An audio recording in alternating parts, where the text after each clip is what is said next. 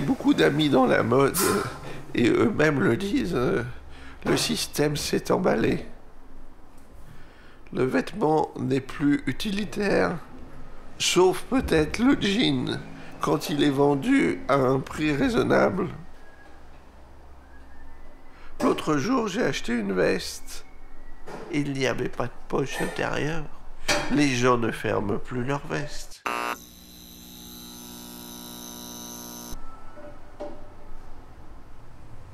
Ce que tu ignores peut-être, c'est que la tendance dépend de la production du tissu. Aujourd'hui, la tendance est au slim, parce que le tissu est redevenu cher. Rien n'a changé depuis la préhistoire. À l'époque, quand on abattait un mammouth, on pouvait se permettre de faire des vêtements fantaisie.